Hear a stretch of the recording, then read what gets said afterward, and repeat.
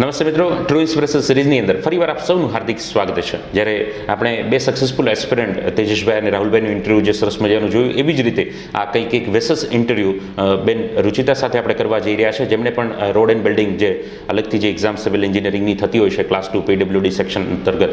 તો બેનની પણ સફળતા અને સ્ટોરી કંઈક ઇન્ટરેસ્ટિંગ છે. તો વિશેષ સમય ન લેતા બેન સાથે ચર્ચા કરીએ. સૌપ્રથમ બેન, આપનું હાર્દિક સ્વાગત છે અમારી ચેનલ પર અને શરૂઆતમાં આપ દર્શક મિત્રોને તમારો પરિચય ટૂંકમાં કહેશો, જેથી કરીને મિત્રોને આઈડિયા આવે.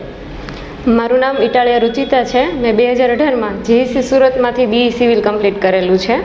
ત્યારબાદ પ્લેસમેન્ટમાં જ મને એક પ્રાઇવેટ જોબ મળી ગઈ હતી. થોડા મંથ પ્રાઇવેટ જોબ કરીને જ્યારે આ સિંચાઈ વિભાગમાં આસિસ્ટન્ટ એન્જિનિયરની ક્લાસ ટુની ભરતી આવી, ત્યારે મેં જોબ છોડી જીસીએસ સંસ્થામાં પ્રિપેરેશન માટે કોચિંગ શરૂ કરેલું. ત્યારબાદ એના રિઝલ્ટ તરીકે એકસો બેના ક્રમાંકે હું પાસ થયેલી હતી. ત્યારબાદ માર્ગ અને મકાન વિભાગમાં આસિસ્ટન્ટ એન્જિનિયરમાં ચોથા રેન્કે પાસ થયેલી છું.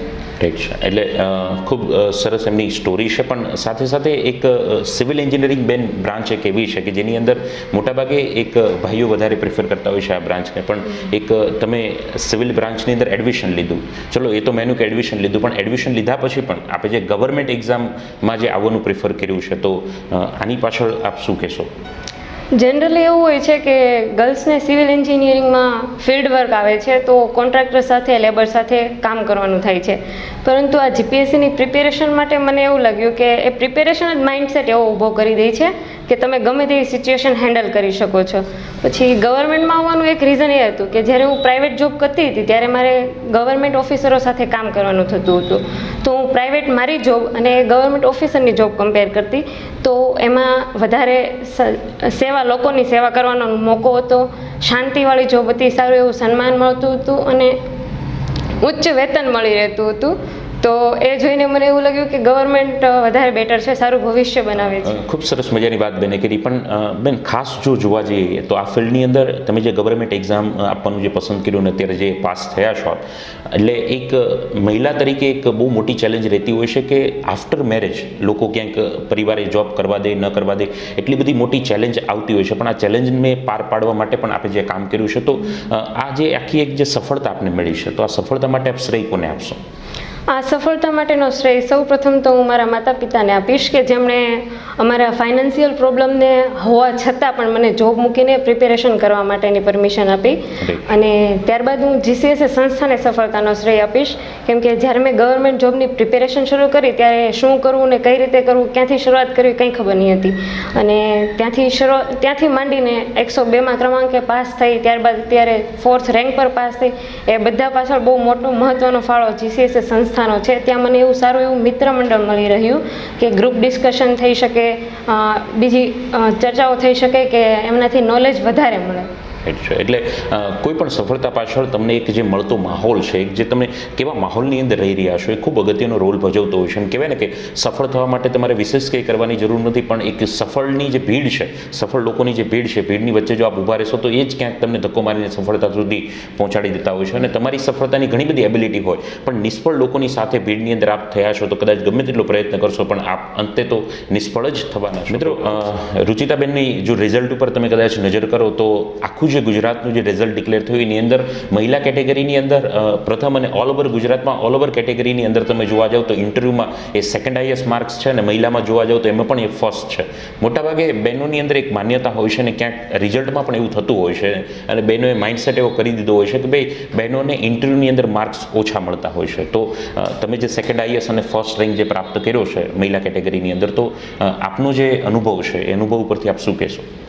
જનરલી ગર્લ્સ એવું વિચારતી હોય છે કે ઇન્ટરવ્યૂમાં માર્ક્સ નથી મળતા ગર્લ્સને અને એવું જ વિચારીને કોન્ફિડન્સ ડાઉન થઈ જતો હોય છે. પરંતુ મારું માનવું એવું છે કે ટેકનિકલ નોલેજ જો સાઉન્ડ હોય અને આત્મવિશ્વાસ હોય તો માર્ક્સ મળે જ છે. જેનું એક ઉદાહરણ હું પોતે જ છું.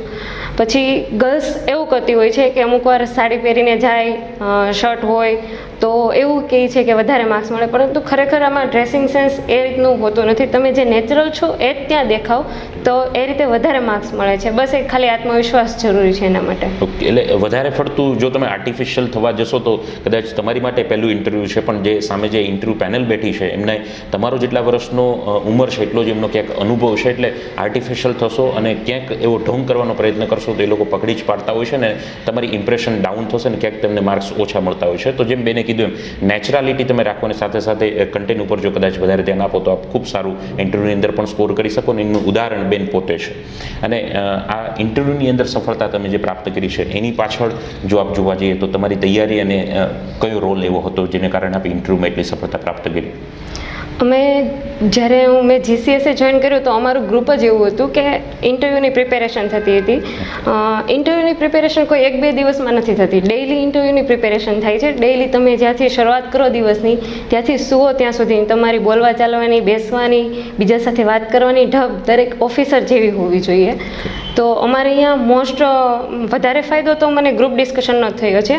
કોઈ પણ પ્રિપેરેશન તમે જાતે એકલા કરતા હોય અને ગ્રુપમાં કરતા હોય, તો એકલા કરીને તમે સમજી તો શકશો. પણ ઇન્ટરવ્યૂ એટલે સમજાવવું છે. બીજાને કઈ રીતે સમજાવી શકશો? તો તમે ગ્રુપમાં ડિસ્કશન કરતા હશો તો બીજાને સમજાવશો તો તમને ખબર પડશે કે તમારી એબિલિટી કેટલી છે સમજાવવાની. અને એ રીતે તમારું ઇમ્પ્રુવમેન્ટ થશે તો એનાથી વધારે ફાયદો થશે. તો મિત્રો જે પ્રમાણે બેને વાત કરી છે કે ફાઇનાન્શિયલ એક સિચ્યુએશન આ પ્રશ્નો બેનને વધારે એટલા માટે પૂછી રહ્યા છે કે દર્શક મિત્રો એમાં ઘણા મિત્રો એવા હશે કે જેમની કદાચ ફાઇનાન્શિયલ સિચ્યુએશન સારી ન હોય. કદાચ ઘણા મિત્રોએ જોબ છોડવાનો ડિસિઝન લીધો હોય અને સાથે એક પ્રિપરેશન કરતા હોય. તો આ ફાઇનાન્શિયલ ચેલેન્જની સાથે એક તૈયારીનો જે માઇન્ડસેટ એ બહુ અઘરું કામ થતું હોય છે, બોલવું ખૂબ સહેલું છે, સાંભળવું એથી પણ વિશેષ સહેલું છે. પણ જે વ્યક્તિ આ કદાચ કામ કરતા હોય, એમને વિશેષ આઈડિયા હોય છે, તો તમારી જે પરિસ્થિતિ, એક આર્થિક પરિસ્થિતિની ચેલેન્જ અને સાથે આ તૈયારી કરવી, તો તમે કેવી રીતે આને બેલેન્સ કરેલું?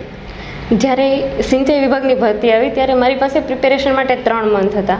તો મેં પહેલાં પ્રાઇવેટ જોબમાંથી ત્રણ મંથ માટે ડ્રોપ લીધેલો અને ત્યારબાદ આરએનબી આવતી હતી. તો એનો પણ સાથે કન્સિડર કરેલું. પરંતુ કંઈક એવું થયું કે આરએનબીની એક્ઝામ લેટ ગઈ.